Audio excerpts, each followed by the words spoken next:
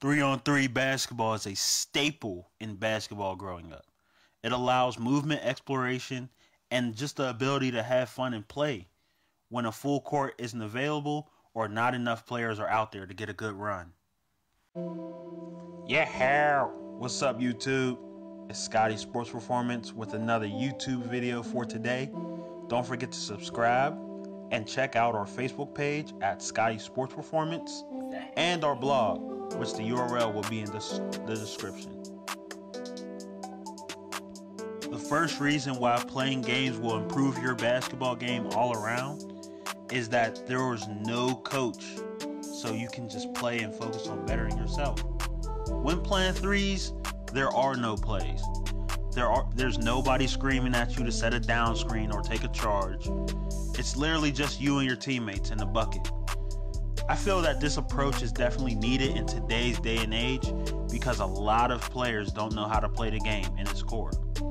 A lot of games get to the point where you as a player have to make a move and the coach can't call a play for you. Most games are scenarios where you have to get out of a jam yourself. The second reason is that there is limited space, so physical prowess becomes less of a need. Three on three basketball is usually played on a half court. Half court is a lot less space than a full court game, and true speed is not necessarily important. In a full court game and even NBA games, you watch players have a significant advantage over their slower defenders because they can just simply outrun them. Due to the limited space, there's no room to truly outrun your defender. So it causes you to become a more crafty and mindful player to get open and play the game. A lot of these players nowadays are unaware of these subtleties in the game. Understanding how to space the floor and getting into the vision of a driving player is also important on offense. An example of this is when I hoop with these guys on Saturdays. These guys I play with and when we with when we play full court always push the ball up the court to shoot contested threes with no big men down there to rebound. Then complain that there's no rebounding. Not understanding that you are going down there to shoot any shot with no help isn't bright. Learning about a great shot is important in 3 on 3 basketball because a bad shot and a missed rebound can turn into 2 points fast. Defense is important because every possession is defended. Learning how to use your brain in these games will easily transfer to full court.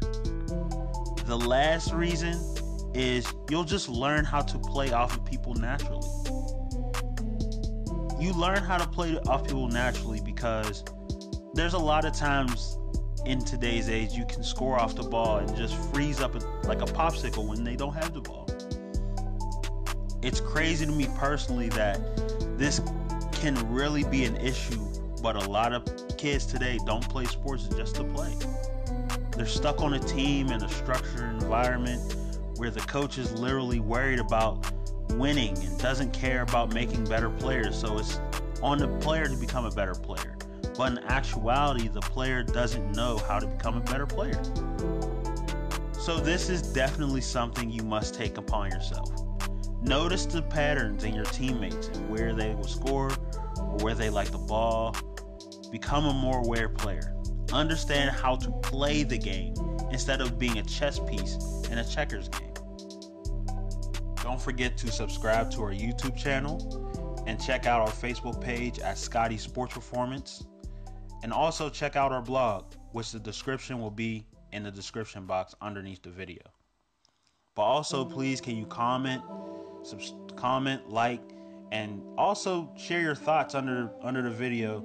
We would like to have more different ideas and hear what you guys have to say about the video. But until then, peace.